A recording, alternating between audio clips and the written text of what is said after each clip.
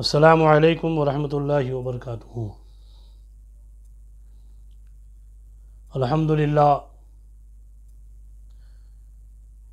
माह रबी नूर का मुबारक महीना चल रहा है। और अल्हम्दुलिल्लाह, आज की रात इतनी मुबारक रात है कि जिस रात के सदक़े में अल्लाह तबारक व ताली ने पूरी कायनात को बनाया है। आज वो घड़ी आने वाली है। मैं हर बंदे से गुजारिश करूँगा, अगर किसी की कोई प्रॉब्लम है, कोई मुसीबत है, कोई परेशानी है तो जिस घड़ी में, जिस वक्त में अल्लाह तबारक व ताली ने अपने महबूब को पैदा किया, अपने सबसे प्यारे रसूल को पैदा किया, उस घड़ी में अल्लाह की बारगाह में दुआ करे कि अल्लाह तबारक व ताली इस घड़ी के सदक़े में हमारी तमाम मुसीबतों को दूर फरमाए, हमारी तमाम परेशानियों को दूर फरमाए। आलम इस्लाम के तमाम लोगों के लिए दुआ करें, अल्हम्दुलिल्लाह। हमारे यहाँ तो सालों से बहुत बेहतरीन अहतमाम होता है सुबह शादी के वक्त। चार बजे से और हर जगह अलहमदिल्ला अभी तो चार पाँच साल से देखा जा रहा है कि हर जगह सुबह शादी के टाइम पर नात की महफिल सजाई जाती है, बिलखसूस दुआ का प्रोग्राम होता है। अल्लाह के रसूल के मुँह मुबारक की जारत कराई जाती है। तो अलहमदिल्ला ये हमारे लिए बड़ी फ़ख्र की बात है और ये हमारे लिए बख्शिश का सामान होती है। तो आप तमाम हजरात से मैं गुजारिश करूँगा कि जिस घड़ी में अल्लाह ताला ने अपने महबूब को पैदा किया, उस घड़ी के सदक़े में बंदा जो भी दुआ मांगेगा, उस वक्त जो दुआ करेगा यकीन अल्लाह तबारक व ताली अपने महबूब के सदक़े में, उस घड़ी के सदक़े में, क्योंकि जिस घड़ी के सदक़े में अल्लाह ने चाँद को बनाया, अगर वो घड़ी ना होती तो ना चाँद होता, न सूरज होते, ना आसमान होता, न ज़मीन होती, अल्लाह ताला किसी को पैदा न फरमाता। ये सारी चीज़ें अल्लाह ताला ने अपने महबूब के सदक़े में बनाई है। तो अल्हम्दुलिल्लाह उसी घड़ी को इन अगर अल्लाह ताला ने मोहलत हमें दी और वो घड़ी हम पा पाले। तो जो बेरोज़गार है, जो बे औलाद है, जो हॉस्पिटल के अंदर पड़े हुए हैं, जो बीमार हैं, उस वक्त बिलखसूस दुआ करे कि अल्लाह तबारक व ताली अपने महबूब के इस पैदाइश की घड़ी के सदक़े में जो बे औलाद है, उन्हें नेक और सवाल औलाद नसीब फरमाए। जो बेरोज़गार है, अल्लाह ताला उन्हें हलाल कमाई की रोज़ी नसीब फरमाए। जो बीमार है, अल्लाह ताला उन्हें शिफा कामिल आता फरमाए। तो ये दुआ करनी है। और उसके बाद हर जगह पर, जो कि इस साल गवर्नमेंट की तरफ़ से और माहौल के हिसाब से, अट्ठाईस, उनतीस अट्ठाईस उनतीस बहुत दिनों से मैं सुन रहा हूँ जुलूस को लेकर, प्रॉब्लम चल रही है।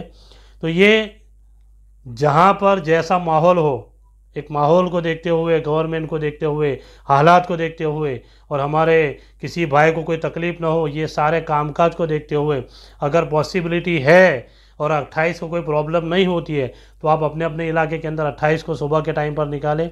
और अगर कोई प्रॉब्लम है, कोई ऐसा प्रॉब्लम का कोई सामान, सामना होता है तो फिर आप लोग उनतीस को जुलूस निकालें। जुमा की नमाज़ होगी और जुमा की नमाज़ के बाद सारे लोग मिलकर अल्लाह के रसूल के जुलूस में शामिल होंगे।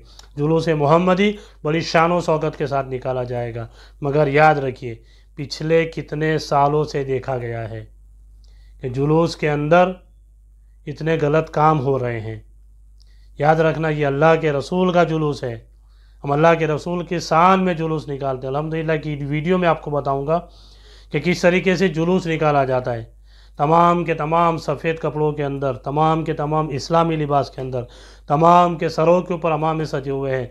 तमाम के हाथों में झंडे लिए हुए हैं और नात के नगमे गुनगुनाते हुए, अल्लाह के रसूल पर दुरुद पड़ते हुए जुलूस निकाल कर जा रहे हैं।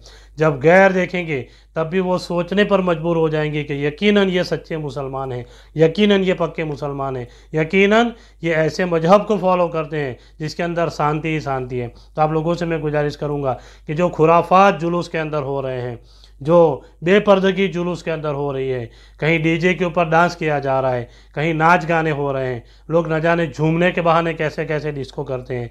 इन सारी बातों को बंद कर देना चाहिए। अगर आप सच्चे आशिक रसूल है, अगर आपके दिल में यकीनन अल्लाह के रसूल की मोहब्बत है, और आप अल्लाह के रसूल की मोहब्बत में जुलूस निकालते हैं तो हमें चाहिए सादगी के साथ।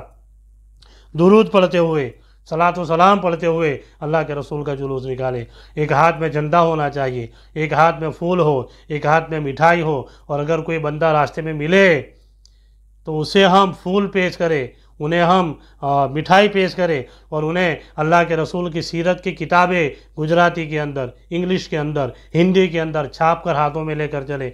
और जो भी बंदा रास्ते में मिले उसे दे हाथ के अंदर और कहे कि ये हमारे रसूल की सीरत है आप घर पर जाकर पढ़िए।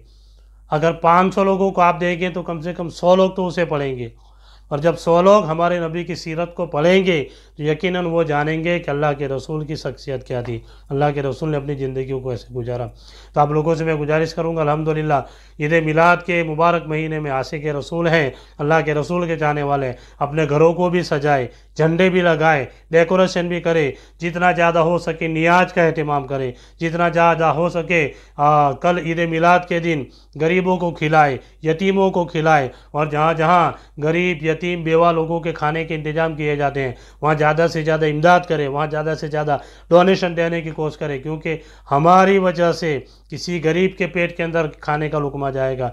यकीन अल्लाह ताला अपने महबूब की विलादत के सदक़े में हमारे गुनाहों को माफ़ फरमाएगा। तो आप लोगों से मैं गुजारिश करूँगा। जितने भी लोग जुलूस मोहम्मदी में शामिल होते हैं, दूर से ही लोग देखें तो पता चल जाना चाहिए कि यकीनन ये आशिक रसूल का जुलूस है। यकीनन ये सच्चे पक्के मुसलमान